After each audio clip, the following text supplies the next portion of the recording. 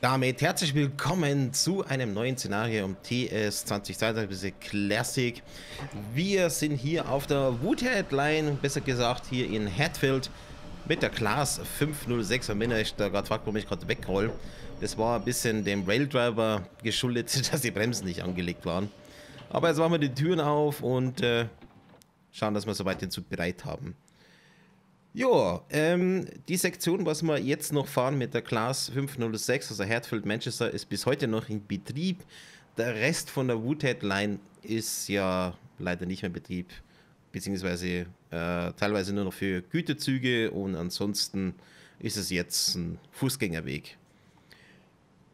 Die Woodhead Line selber ist eine Linie, die warte mal, wann war das jetzt? In äh, 18, genau, 1845 wurde die Woodhead Line eröffnet und 1953 wurde die Woodhead Line elektrifiziert und zwar mit einem 1500 Volt Gleichstromsystem. Und das war auch der einzige Einsatzgebiet der Class 506 als Gleichstrom-EMU, also diese Electrical Multiple, Electrical Multiple Unit, so. Und äh, Letztes Einsatzjahr war 1984. Wir sind jetzt hier im letzten Einsatzjahr quasi der Steam-Ära, wo noch die Dampfloks hier auf der Woodhead Line gefahren sind. Ansonsten waren es dann die elektrischen. Die waren einfach besser bei der ganzen Steigung, was hier auf der Woodhead Line gegeben hat. Und äh, Woodhead Line ist insofern bekannt für die zwei Woodhead-Tunnels, die mal gebaut worden sind. So, Abfahrt sollte jetzt gleich mal sein. Broad Bottom. Der nächste halt. Und los geht's. Die hat noch eine wirklich schöne Soundkulisse, die Class 506. Fahre recht selten mit ihr, aber nachdem ich jetzt immer wieder im Loading Screen so ein schönes Foto von der Class 506 gesehen habe, dachte ich, ja, lass uns doch mal so einen kleinen Regio fahren.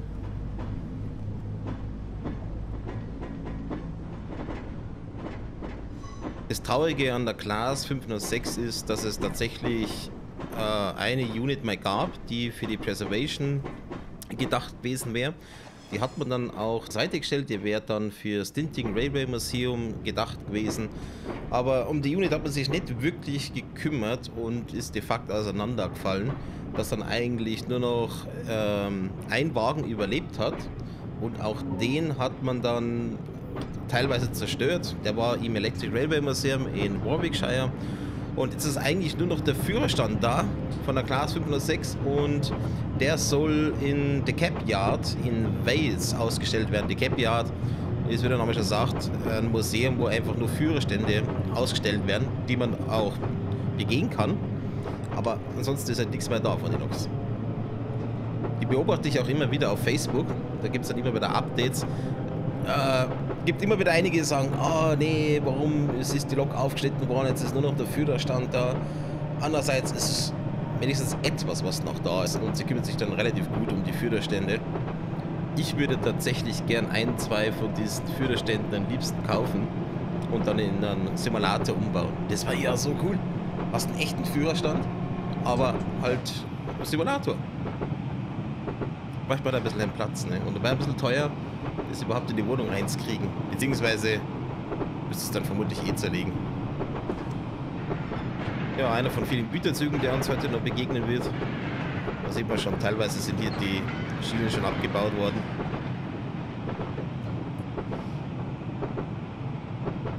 Und eine Durchfahrt hier. Über die schöne Brücke hier. Also es gibt schönere, aber ich meine, in echt ist das bei der Woodhead Line ein schöner Spot, um hier auch Fotos machen zu können.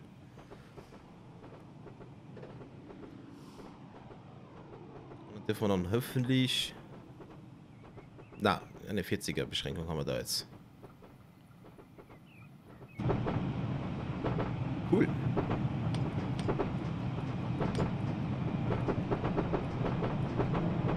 So als technischer Fakt, der allererste Wagen und der letzte sind motorisiert, haben insgesamt vier Fahrmotoren mit A 185 PS, macht eine Gesamtleistung von 740 PS für ein Set aus drei Wagen, denn der mittlere Wagen, der läuft einfach mal mit. Und zur Peakzeit wurden auch zwei Units zusammengekuppelt, sprich war dann sechs Wagen. Und insgesamt gab es acht Dreier-Sets von der Class 506, wovon sieben fast immer unterwegs gewesen sind und eine Einheit war dann quasi als Bär abgestellt für den Fall, dass was sein sollte oder halt eine Unit ausfallen sollte. Schade, dass hier die Variante so verdreckt ist. Ja, hat ein hartes Leben gehabt, aber hier drin sieht es eigentlich nur echt gemütlich aus. Und ich bin erstaunt, dass sie damals schon da die Schiebetüren drin hatten. Modern.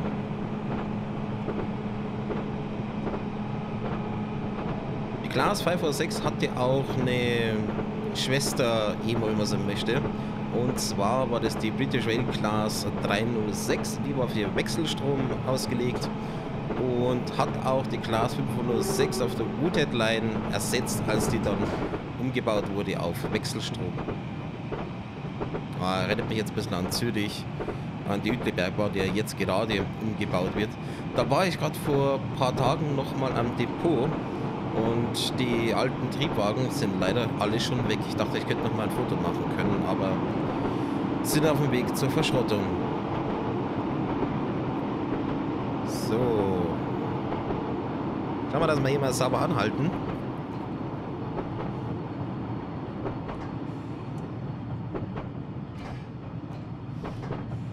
Ja, das sieht doch gut aus. Hat noch giftige Bremsen. Also wenn man weiß wie, dann kann man recht schnell mit der Glas 506 anhalten.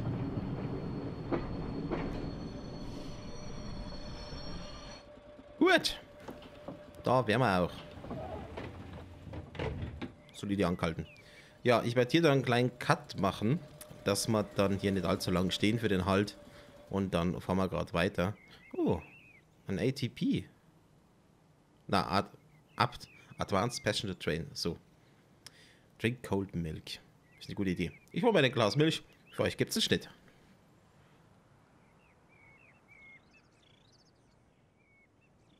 So, da, und dann heißt es jetzt Abfahrt und los geht's zu unserem nächsten Halt. Währenddessen, ich habe noch ein bisschen Wikipedia geguckt äh, wegen der Woodhead Line. Äh, neben ja unser Class 506 waren ja die zwei Electrologs Class 76 und 77 ja unterwegs.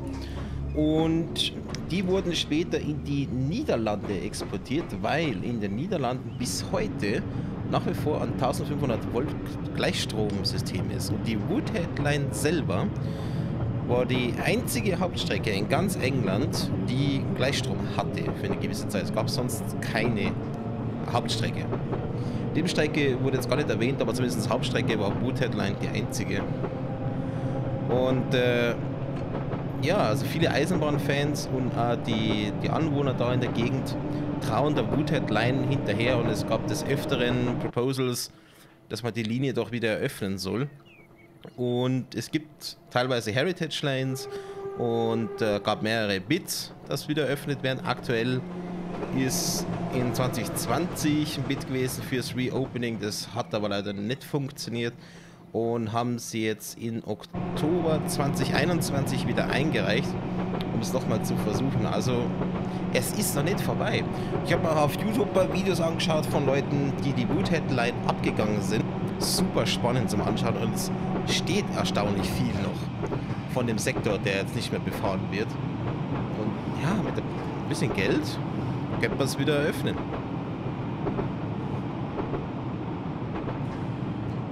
Mein Gott, die zwei Städte, Manchester und Sheffield, würden davon profitieren, wenn man hier einen recht schnellen äh, Railing aufbauen könnte mit der Route Headline. Es gibt ja jetzt schon Alternativlinien, aber die sind halt langsamer als das, was mal gewesen ist.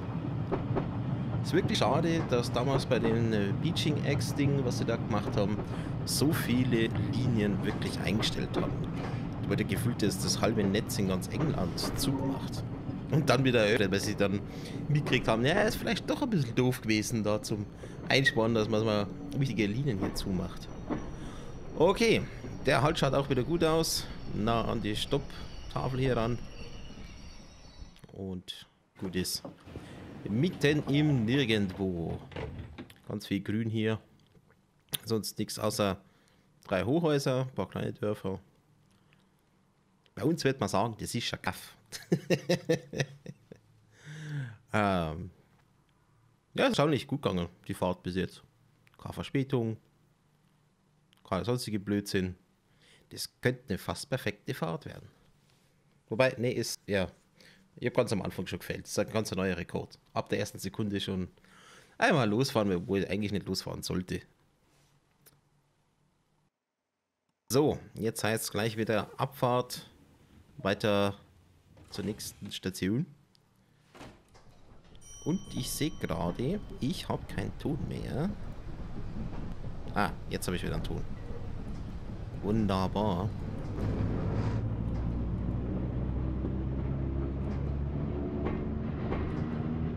Ja, und davon schaut es aus, als wenn da ein bisschen Action ist.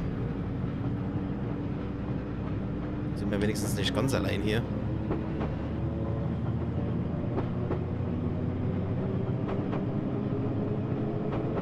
Muss mal schauen, ich würde auf der Woodhead Line nochmal mit einem richtig schweren Kohlezug nochmal fahren. Mit Dampftraktion. Da ist die Linie einfach ideal dafür.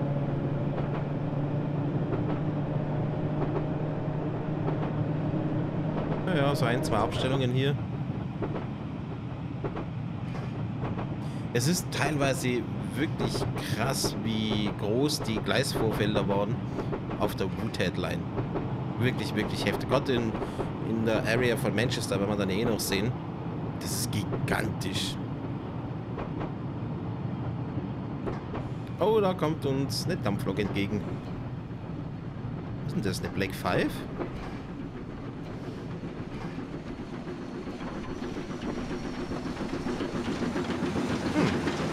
bin mir gerade nicht sicher. Aber geiler Sound, muss ich sagen. Ja, ich glaube, das war eine Black 5. Postzug, so wie es aussieht, ja. Mit unterschiedlichen Liveries. Könnten die Wagen von Armstrong Powerhouse gewesen sein. So rein von der Optik. Also das ist kein Standard-Szenario, das habe ich mal aus dem Workshop runtergeladen. Aber schon vor längerer Zeiten. Ich wüsste gar nicht mehr, wer es gemacht hat. Müssen wir nachrecherchieren.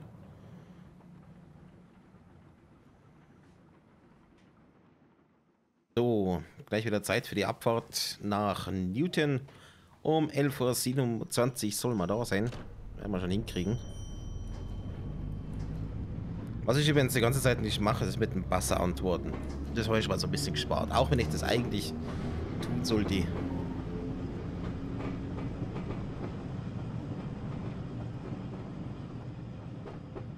Ich mir noch ganz cool vorstellen in der Grafik vom Trade Sim World. Aber das wäre für die vermutlich wieder zu lang. Aber die Strecke ist schon ziemlich alt hier im TS Classic.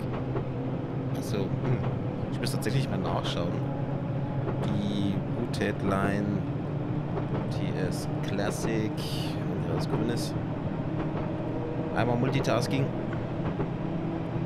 2012 ist die Route rausgekommen. Mit ein paar Verbesserungen weiter später. Doch ein paar Jährchen jetzt.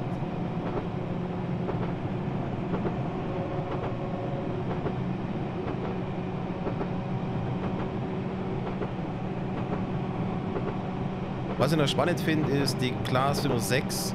Unser Triebwagen hier, der hat kein Tacho.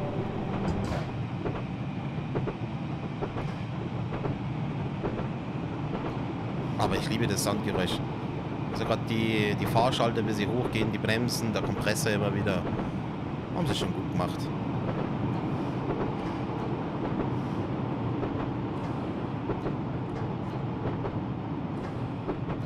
Und da wären wir auch da. Ein bisschen vor der Zeit.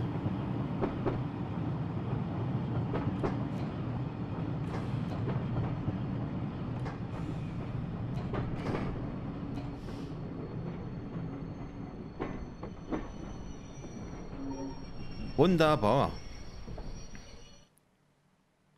Cool. Schauen wir uns mal um hier.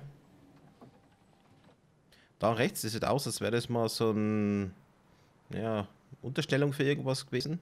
aber dass hier auf alle Fälle Maschinen gewesen sind. Mittelgroße Stadt hier. Oh, ist schon was los da. Und gerade der Bereich da links, der war garantiert voll mit irgendwelchen ja, Abstellungen. Man sieht jetzt da auch, also 100 Pro ist da mal was reingegangen. Gerade für den Abstand hier. Okay. Ja, dann machen wir mal wieder einen Schnitt, bis es soweit ist. Äh, bis gleich. So, gleich hat man das Signal bekommen und dann heißt es wieder Abfahrt. Und wo ist? Da ist es. Wunderbar. Ähm, während der, des Edits von dem Video jetzt hier habe ich gerade mitgekriegt, dass es ein neues Add-on für den Train Simulator gibt und zwar Glasgow Subway. Die Fotos schauen weniger vielversprechend aus, dass das jetzt optisch was Schönes wird, aber ich werde es mal auf alle Fälle anschauen. Und ich finde es gerade ein bisschen ein Zufall. Ich habe mir nämlich die letzten Tage ein paar Dokus über die U-Bahn von Glasgow angeschaut, weil die historisch sehr interessant ist. Ähm, denn die ganze U-Bahn war ganz früher mit einem Kabel gezogen. Und dann haben sie es umgebaut auf äh, elektrisch. Und zwar mit, äh, mit einem Pickup-System auf der Seite, also an der Wand entlang. Na, Moment, jetzt erzähle ich Blödsinn. Als es noch Cable-driven war, also dass es mit einem Standseil war, hatten die das Stromsystem auf der Seite, damit die Wagen Strom kriegen. Und dann haben sie es umgebaut auf äh, Third Rail, also so wie eine klassische U-Bahn jetzt ist. Und äh, die, die Züge, was da so rumgefahren sind, die haben mal geil ausgeschaut. Aber dazu werde ich dann mehr reden, wenn wir dann effektiv mal die Folge anschauen mit äh, der U-Bahn von Glasgow. Die kostet aktuell 18 Franken, hat gerade 25% Rabatt. Und ansonsten wären es 25 Franken, ungefähr das gleiche dann in Euro.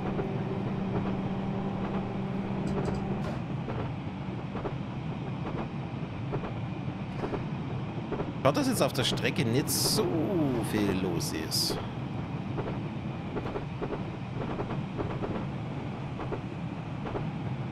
Aber ich meinte auch in Wikipedia gelesen zu haben, dass hier die Triebwagen so im halben Stundentakt unterwegs gewesen sind. Also zumindest in der Rush Hour. Was eigentlich gar nicht mal so viel ist, ne? Also, wobei, da wann man den Takt jetzt sieht, also pro ganzer Umlauf ja, jede halbe Stunde.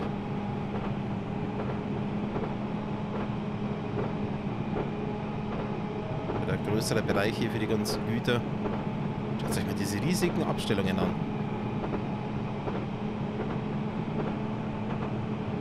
Was das alles Kost haben muss.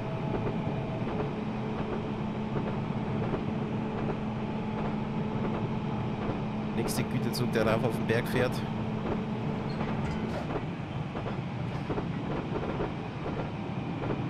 Das alles primär nur für die Kohle.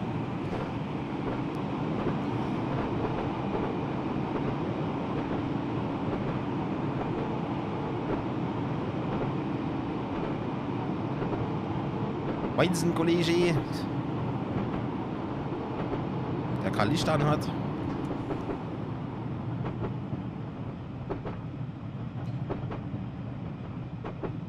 Es ist noch eine spannende Station hier, denn ich meinte, die Plattform rechts ist nicht mehr komplett angeschlossen.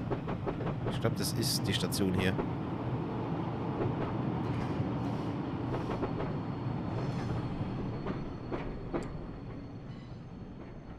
Ein bisschen verbremst hier. Nicht ganz perfekt. Aber haben ja Zeit.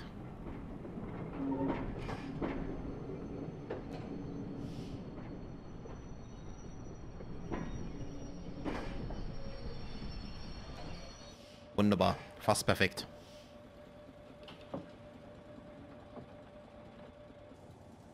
So, willkommen in Guidebridge wirklich eine Brücke hat.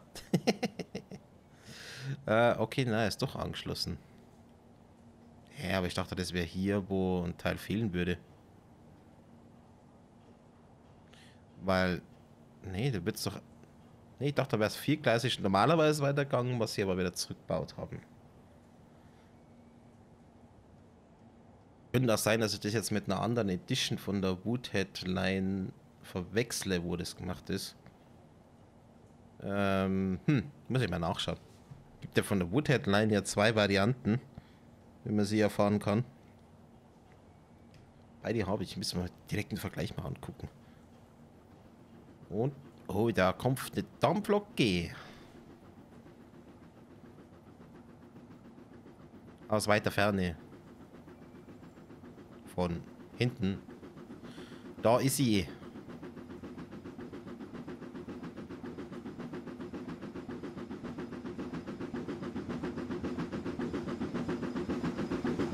Ja, die hat aber auch schon bessere Tage gesehen gehabt. Mal schauen, ob die da stehen bleibt. Ja, sieht so aus. Mit Mixed Livery. Und First Class hier zum Schluss. Kennen wir an den gelben Streifen da oben. Ja, heißt auch für uns jetzt Abfahrt. Ashbury.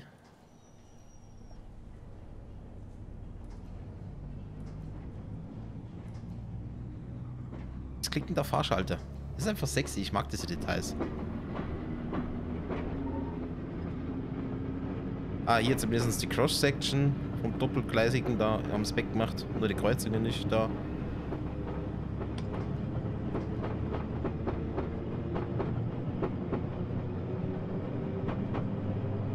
Weiß gar nicht, ob es eine Fan-Recreation gibt, wo das Gleisnetz noch komplett ist. Wo noch alles da ist. Also irgendein Fan kann ich mir vorstellen, dass es gemacht hat im Workshop oder so. Müsste mal bei UK Trains immer reingucken, ob sowas hat. Und wenn, dann werde ich das mal erfahren. Jetzt schon interessieren, wie es aussehen hat, wenn hier noch alles komplett war. Und was für Traffic entsprechend da gefahren ist. Und da kommt also auch eine elektrische wieder entgegen. 77 vermutlich. Die war für den schnellen Personenverkehr zuständig.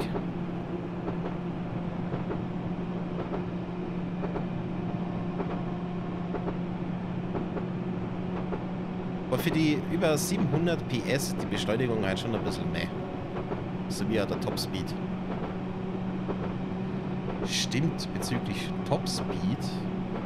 Äh, muss jetzt gerade mal schauen was es war. Schauen wir mal auf Wikipedia. Class 506. Oh, Wikipedia, geh mal auf. Höchstgeschwindigkeit, steht das da irgendwo? Ah! Ja, 75 Meilen pro Stunde, also 120 km/h. Darf die maximal fahren, aber bis die da mal da ist, äh, dauert es eine Ewigkeit. Ich meine, ich bin auf der höchsten Setting jetzt mit Weakfield.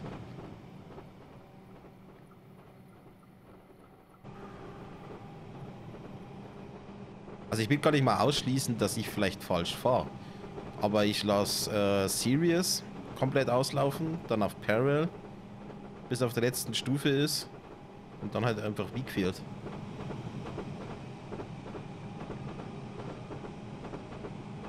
Aber auch wenn, also wenn ich jetzt auf 75 dann hochkommen wäre die meiste Zeit, dann war ich ja noch früher an den unterschiedlichen Bahnhöfen gewesen.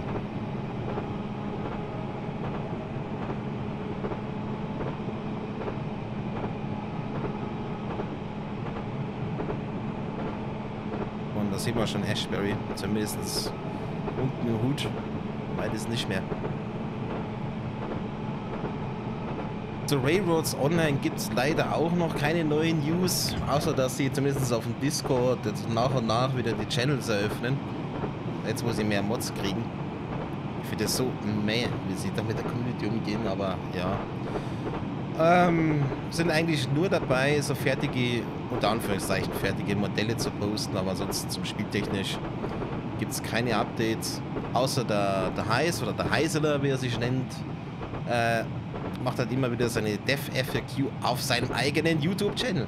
Ja, das, das ist so ein Ding, da könntest du drüber wenden, dass die offiziellen Sachen auf seinem YouTube-Kanal veröffentlicht werden und das ist nicht auf einen dedizierten Railroads Online-YouTube-Kanal machen. Das regt mich total auf, dass das machen, weil das, das ist irgendwo ein Interessenkonflikt. Man eher als interessanter Bug mit dem Licht hier, by the way.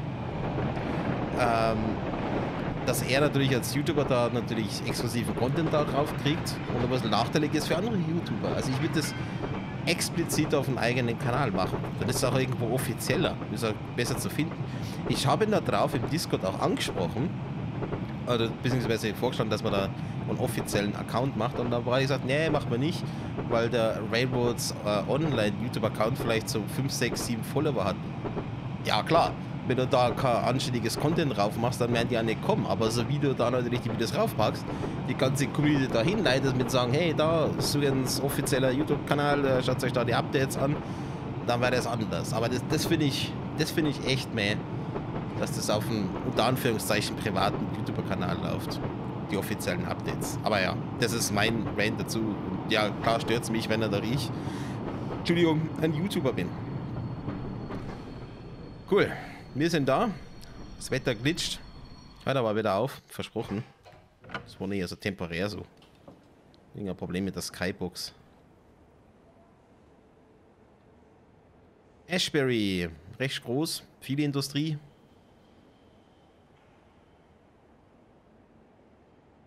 Fehlen ein bisschen die Rauchschwaden. Da war der ganze Schornstein.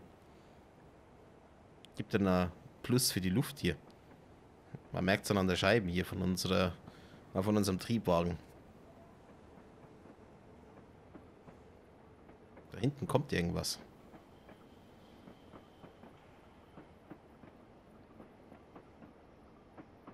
So, ja, wieder eine Dampflok. Wir vermutlich genau dann abfahren müssen, wenn die da auf unserer Höhe ist. Mit dann Kohlezug. Ist die Frage, ob er beladen ist.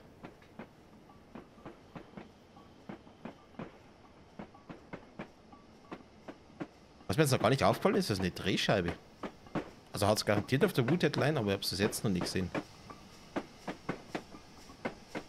Moin sehen. Du bist aber eher am Rollen da, ne? Als wieder am Gas geben.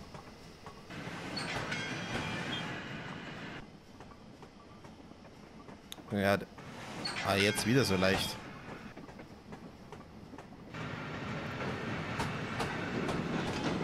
Das ist irgendwie doof, wenn das passiert, wenn also die Audioeffekte so reinglitschen und wieder rausglitschen. Und statt dass es durchgängig ist. Oh, interessant. Zwei Elektrologs am Abschleppen. So. Abfahrt. Manchester Piccadilly Plattform 3. Unser letzter Halt. In anderthalb Meilen.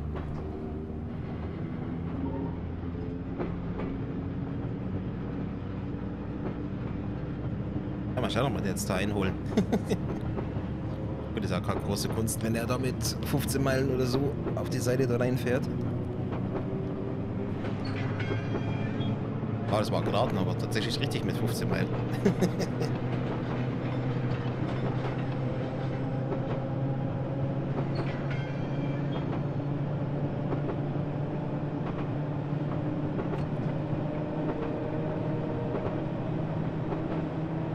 Auch wenn die Sektion nach wie vor noch offen ist, ist es bei Weitem nicht mehr so ausgebaut hier, würde ich mal sagen.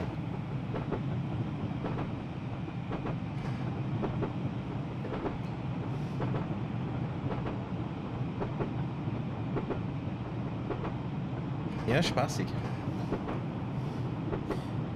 Komme schon auf Sonntag. Reopening Lokorama. Also heute ist Freitag und Tag der Aufnahme. Und erster Einsatz wird an der Kasse sein. Auf das freue ich mich ja überhaupt gar nicht. Ich glaube, da werde ich dezent ein bisschen untergehen. So, freie Fahrt. Werden nicht aufgehalten. Das ist auch eine schöne Ansicht. Ich bin mir gar nicht sicher, wo es da rechts lang geht.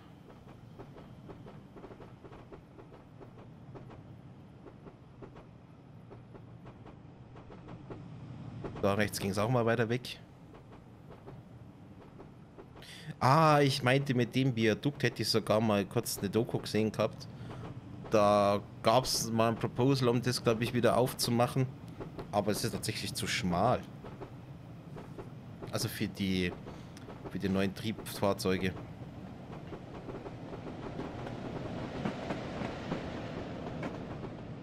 Vorne ist unser Bahnhof. Gleich kommt noch die 15er Beschränkung. Und dann sind wir auch da. Ich hoffe, die Fahrt hat euch gefallen. Sind soweit ja ohne größere Probleme hier nach Manchester kommen.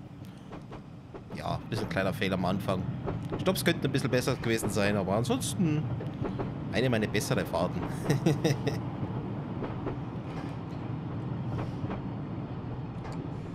ja, ist ein bisschen was los hier am Bahnhof.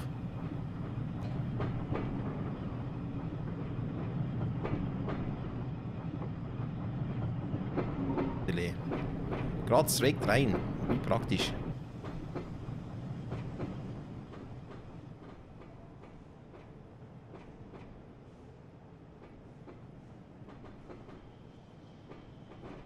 Ich glaube, das wird das Thumbnail werden.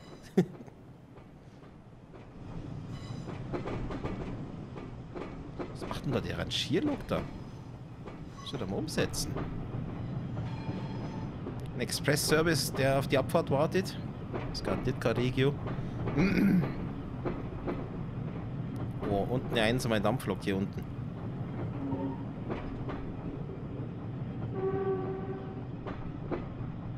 Gut, liebe Leute, das war's. Wenn es euch gefallen hat, lasst einen Daumen nach oben da oder einen Kommentar. Würde mich freuen, wenn ihr auch auf unseren Discord-Server kommt. Link ist in der Videobeschreibung. Und dann bis zum nächsten Mal. Gute Fahrt. Macht's es gut.